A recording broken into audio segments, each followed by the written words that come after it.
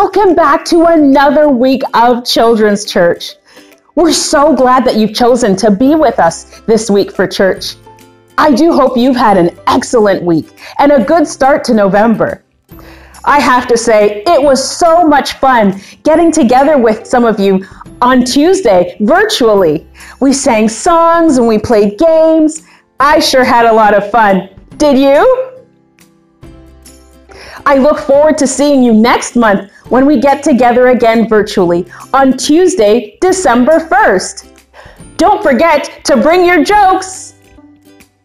Now, let's talk birthdays. This week, we are celebrating a very special birthday. The youngest child at Children's Church is turning one. Do you know who it is? It's Raphael Nuchalen. Happy birthday, Raphael Nuchalen. If you have a birthday coming up, do feel free to let us know so that we can mention it here in our Children's Church videos. Now, today we're going to be talking about some pretty neat stuff. You will notice that I have a special flower on my shirt. Do you know what this flower is called? If you said poppy, then you got it right. Do you know what it means? What it stands for? Here in Canada, we wear a poppy in honor of Remembrance Day. That's right. This Wednesday is Remembrance Day, the 11th day of the 11th month. And at the 11th hour, we observe a special time of remembrance to honor and to say thank you for all of those who have served our country. All the men and women who have fought bravely in wars in times past, and those who still are working to serve and to represent our country abroad, here and here in Canada today.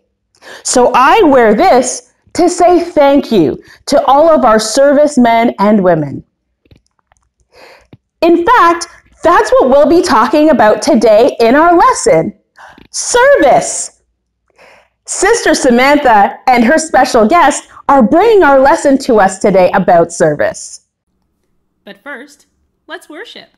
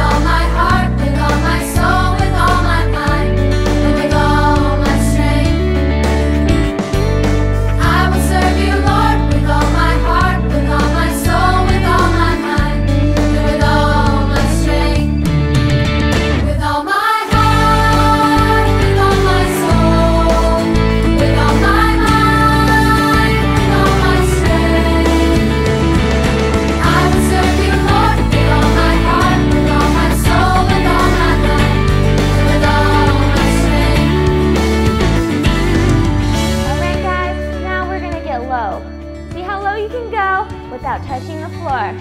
Whoa! Okay, and then when I count to three, we're gonna jump up all together as high as you can. You guys ready? One, two, three!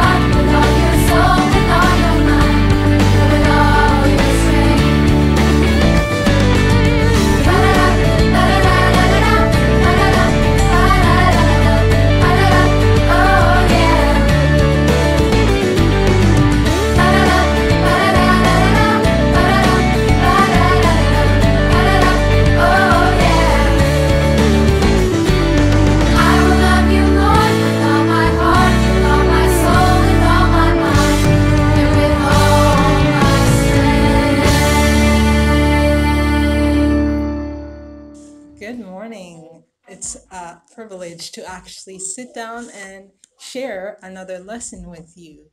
Uh, Sophia is actually going to be here to help me in a little bit, not yet, but just a moment. Um, so we're going to talk about something very special today. Now, today is Service Sunday. So this is where we remember those who serve.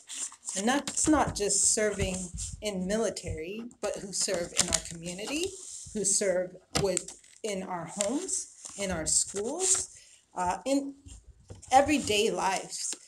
Uh, I am going to share a definition on service for you. Now, before I do, I want you to think what does serve mean? Webster's dictionary gives about 20 meanings to what serve means. I'll just share a few. Now, to serve is to work for someone or to do military service or to be useful. To serve also means waiting food for those who uh, are in a restaurant or at a banquet. To serve also means to be a sailor or a soldier. To serve can even mean playing, uh, serving a ball in a sport or in a game. So there's so many different meanings to serve, and I just want you to think about that for yourself. Now, Sophia is here with us. She wants to share a few people in our community that serve. So, Sophia, go ahead and open up your picture and show everybody people who serve in our community. This is a, a, a firefighter and no, and this is a police. This is a police. A police is people stop on the run fast. Mhm. And this is a teacher that teach. This is a soldier that in the Army. um, That's um, right. and this is a way to get people food. A waiter that gives people food. That's right. What, what And else do you see in the is- picture?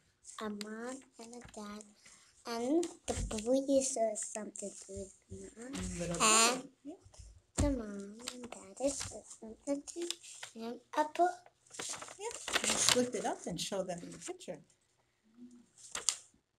So these are people who serve in our community on a regular basis. A teacher, a fireman, a policeman, a waiter, a soldier, even your parents. Yeah, even your parents. They serve you your, your food, they serve you when it's time to get ready to, for bed.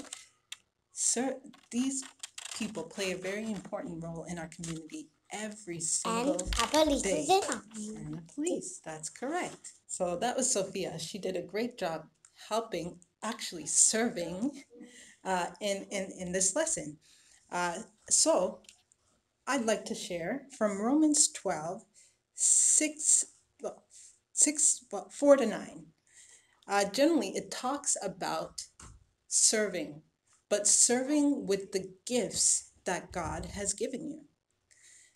So Romans 12, verse 4 says, Just as our bodies have many parts and each part has a special function, so it is with the, the body of Christ. We are many parts of one body. We all belong to each other, so we all play a special role. In His grace, God has given us different gifts for doing certain things well.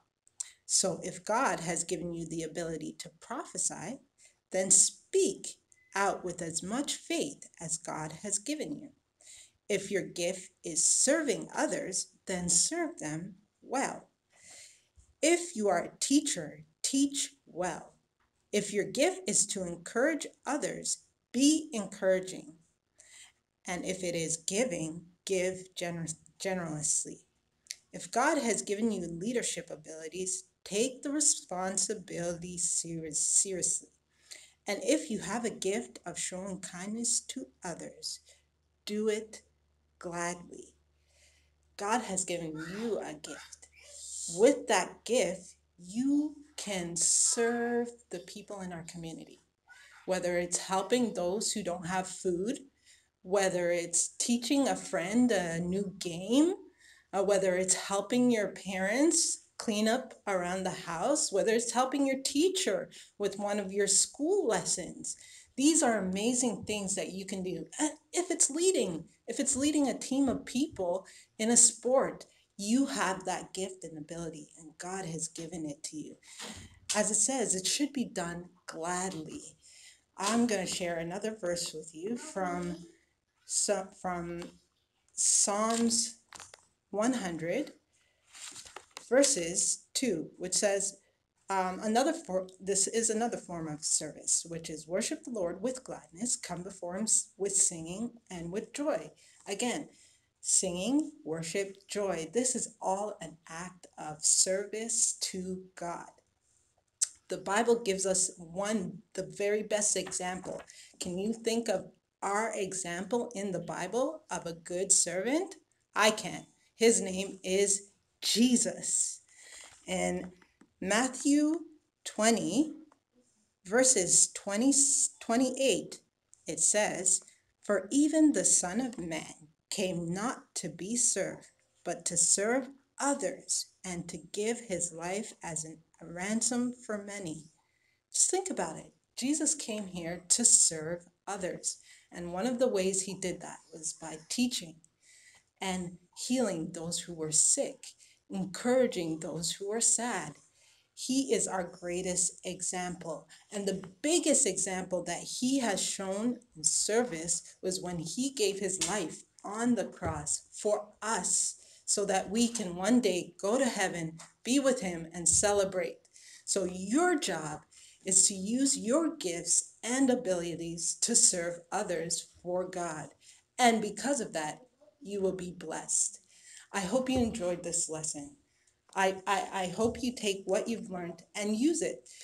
Serve your, your parents, serve your community, and don't forget to say thanks because when you tell someone thank you, that shows that you appreciate all the things they've done for you and how they've served you.